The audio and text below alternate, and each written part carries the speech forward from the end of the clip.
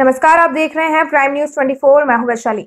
लोहड़ी का त्योहार हो और पंजाब के लोग भंगड़ा और गिद्दा ना डाले तो मज़ा ही फीका पड़ जाता है। इसी को लेकर बटाला के R D Khosla DAV senior secondary school में लोहड़ी का त्योहार मनाया गया, जिस दौरान स्कूल के बच्चों ने भंगड़ा और गिद्दा डालकर खूब रंग जमाया। इस दौरान बच्चों को स्कूल की प्रिंसिपल बिंदु भल्ला ने लोहड़ी पर उड़ाई जाने वाली पतंगों में चाइना डोर मांझा का इस्तेमाल न करने की प्रेरणा दी। बटाला के R D Khosla DAV senior secondary school में लोहड़ी का त्योहार मनाया गया, जहाँ बच्चों को लोहड़ी पर पतंग उड़ाते समय चाइना डोर यानी मांझा का इस्तेमाल न करने के बारे में बताया गया। प्रिंसिपल बिंदु भल्ला ने कहा कि लोहड़ी पर पतंगबाजी सबसे ज़्यादा होती है और इस दौरान अक्सर लोग चाइना डोर अपने बच्चों को ला कर देते हैं, जिससे कई दर्दनाक घटनाएँ होती हैं और इंसानों के साथ साथ परिंदों को भी अपनी जान गंवानी पड़ जाती है। इसलिए बच्चे चाइना डोर का इस्तेमाल ना करें।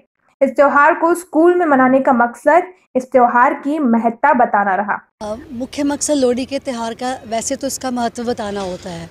लेकिन Lohri is this day of celebration enjoyment joy जिसमें फैमिलीज़ इकट्ठे होती हैं, जैसे बॉन फायर करते हैं। आजकल लोगों के पास इकट्ठे बैठने का टाइम ज़रा कम होता है।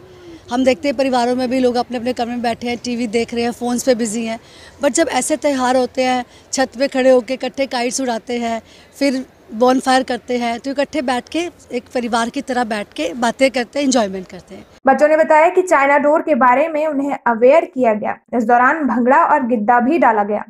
पहले सिर्फ़ लड़का पैदा होने पर ही लोहड़ी मनाई जाती थी, लेकिन अब समय बदल गया है। लोग अब लड़की पैदा होने पर भी लोहड़ी का त्योहार मनाने लग गए हैं, जो कि एक अच्छी बात है। गया। हमारे स्कूल में चाइना डोर को बिल्कुल यूज़ करने के बारे में बताया गया कि चाइना डोर बहुत ही ज़्यादा खतरनाक है। हमें इसको बिल्कुल यूज़ नहीं करना चाहिए।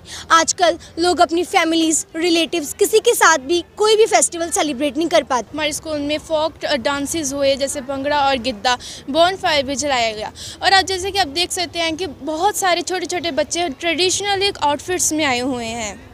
बात हैं, क्योंकि पहले सिर्फ़ लड़कों की लोड़ी दी जाती थी, पर अब लड़कियों की भी दे रहे हैं, फिर लोगों की सोच में बदलाव आ रहे हैं, जो कि बहुत ही अच्छी बात है। प्राइम न्यूज़ 24 के लिए जतेंद्र कुंडल की रिपोर्ट।